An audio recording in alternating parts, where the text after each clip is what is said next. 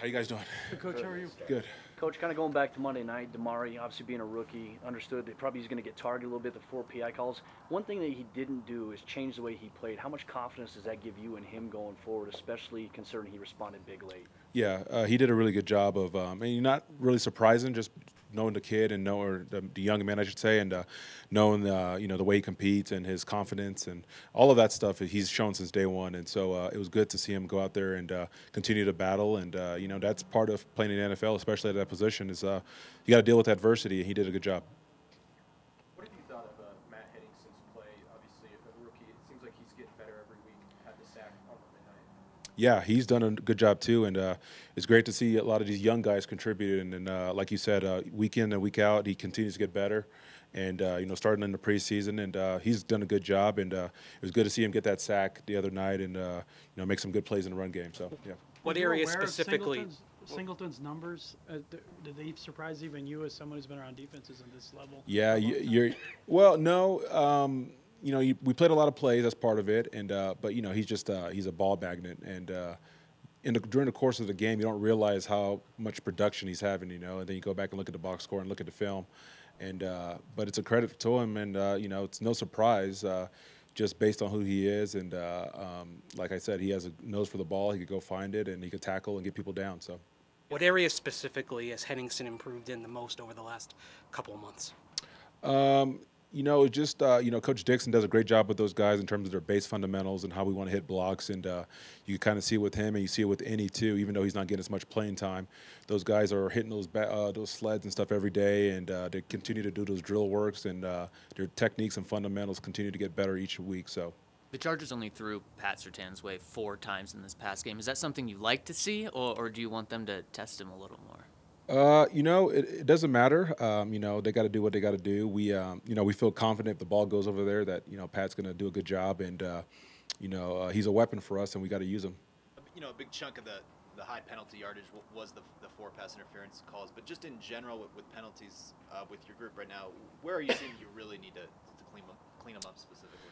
Yeah, you know, so, some penalties, you know, um, you know, I'm not going to overcoach just because I think, you know, the game is so fast and bodies are moving around and there's so much reactionary stuff going on that, like, you know, it's just part of the game. And, like, I don't, I don't think you want to sacrifice the speed of what which players play with. But, um, you know, the ones that drive you crazy are like the offsides and those type of penalties and, you know, maybe some of the late hits and stuff. The, the things that we can control um, that think that take no um, take no uh, really slowing you down in terms of your play. And so uh, um, those are the things that we got to continue to work on. This has uh, been a theme for a few years here. The defense plays well, the offense struggles.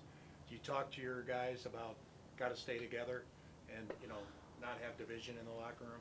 Absolutely. Um, you know, at the end of the day, we got to win as a team. We got to find a way to win as a team. And, uh, you know, one big point we make to the guys is that we haven't played our best football. So we got to continue to find ways to be better ourselves and focus in on that um, and let the offense handle the offense. And, uh, you know, there's a lot of season ahead of us, too. So we can't uh, be short sighted and we got to look at the long road and uh, continue to get better and uh, understand there's still, uh, how many more games we got? 11? Something like that? 11. Yeah, 11, yeah. So. With What do you see Jonathan, from- with Jonathan Cooper, he had a couple of hits on Monday, but you know he's missed a lot of time because of injuries the last few months. So what does it say about him that he's able to contribute like that despite missing all the time that he has so far this year? Yeah, no, it's a credit to him, and uh, you know he's had some unfortunate breaks and uh, bumps along the road. But uh, one one thing he does is that he works really hard, uh, even when he's uh, rehabbing. He's still on the field. He's still in the meeting rooms. Uh, he's trying to do everything he can to get back on the field, and he keeps himself prepared, especially mentally. So he's done a good job of that. What do you see from?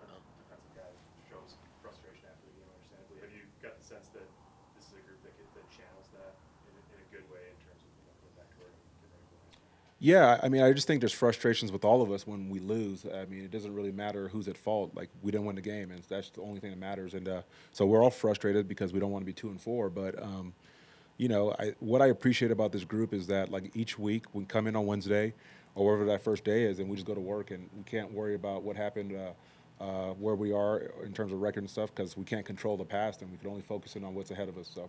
Coach, what do you see from the Jets offensively and any similarities with Mike LaFleur and some of the other coaches, and including Nathaniel, with how they call plays? Yeah, no, it's very similar to what you see from you know San Fran, from Green Bay, from our offense, and uh, a lot of similar concepts. Um, you know, at the end of the day, all of team, all these teams want to run the ball.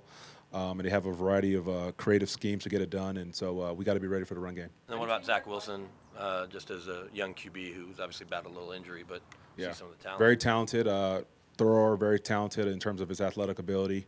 Um, obviously, he's continuing to grow as a, um, you know, in terms of the knowledge of the game. But uh, you know, he's a very good player, and uh, you know, he was picked number two or whatever for for a reason. And so, uh, you know, we got a good challenge ahead of us. Coach, how do you how do you balance Baron Browning's get off at the line with, with also not going off sides? We, we've seen that happen over the past few games. Yeah, he just has to do a good job of looking at the ball and keying the ball and um, not guessing.